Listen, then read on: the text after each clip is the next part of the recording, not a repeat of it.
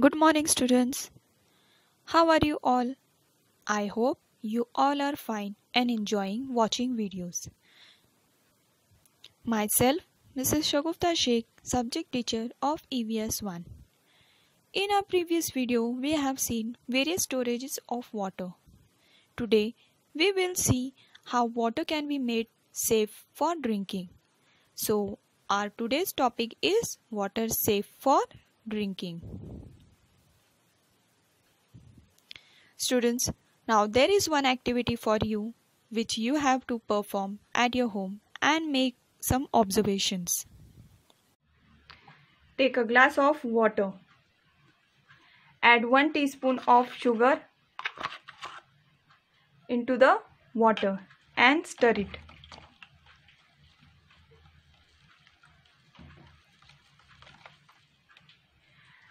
Now you have to repeat this experiment by taking some other substances. For you, I have taken other substances such as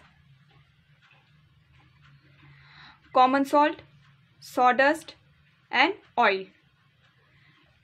Now same you have to repeat this experiment by taking 1 teaspoon of each substance and adding to the water.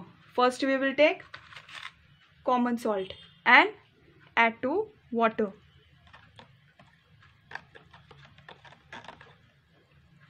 Next we will take sawdust. Sawdust is fine particles of wood which are removed by sewing.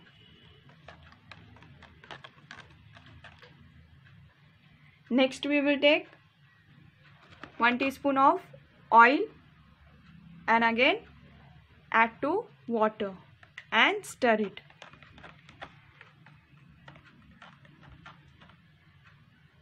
Here I have taken different glasses but you have to take only one glass and after adding each substance you have to wash the glass clean. Now what results can you find here? Can you see here? The sugar has completely dissolved in water. Common salt has also completely dissolved in water. Sawdust has not dissolved in water. It is floating up here. Oil has also not dissolved in water. It is also floating. Oil is floating on the water. What do you understand by this?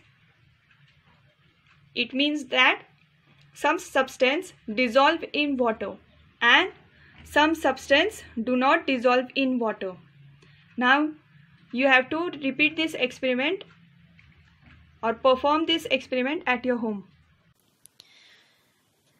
Students, now read behind me. The substance that dissolves in water spreads throughout the water. When salt dissolves in water, the water in the container tastes salty. When sugar dissolves in water, the water tastes sweet. What do you understand by this? It means that whichever substance you add to the water will spread completely in water and get dissolved in it and water will give taste like that substance.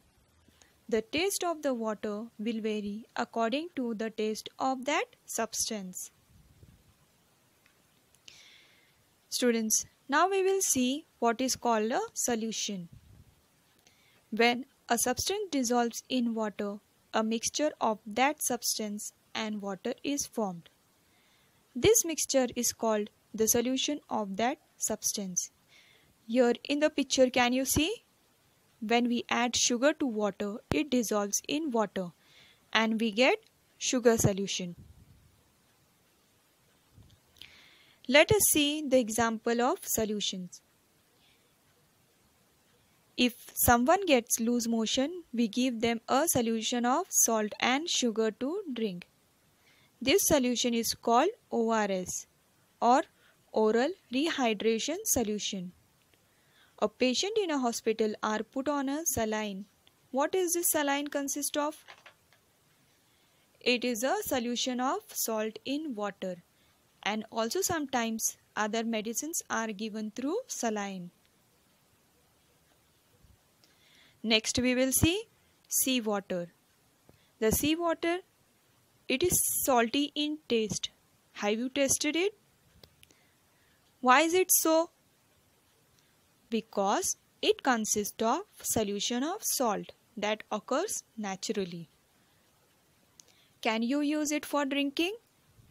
No, we cannot use it for drinking purpose because it is very salty in taste. Now we will see example of well water.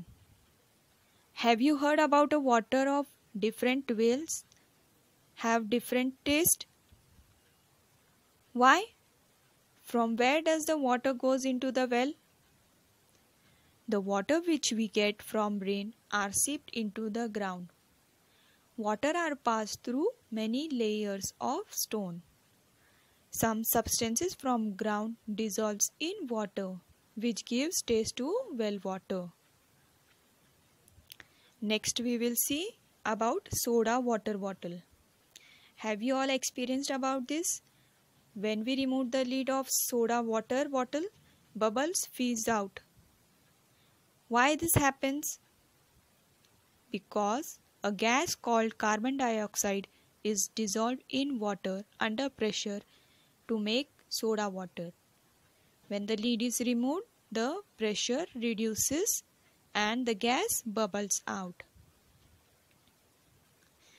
Till now we have seen some substance dissolves in water and some substance do not. And we have also learned what is called solution and seen various examples of solution. Here we will stop now the remaining part we will see in our next video. Hope you all might have understood till here. Kindly subscribe our channel to receive further notification. Thank you.